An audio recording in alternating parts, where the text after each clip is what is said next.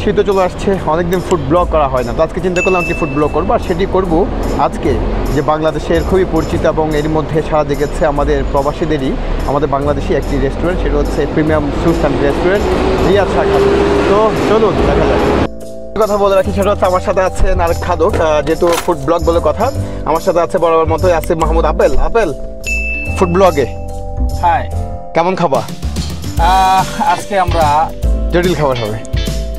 চালাচ্ছি premium sweet টুতে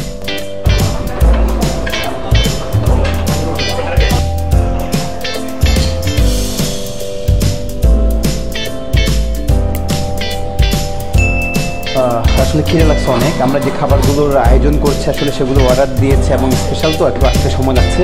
তাই আসলে খিদে লাগল, কি করতে হবে, অপেক্ষা করছি।